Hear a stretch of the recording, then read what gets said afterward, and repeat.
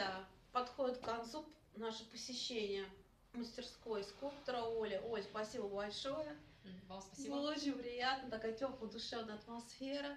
В конце апреля мы приедем снова, чтобы показать вам окончательный, окончательную работу а, памятника Сенечке.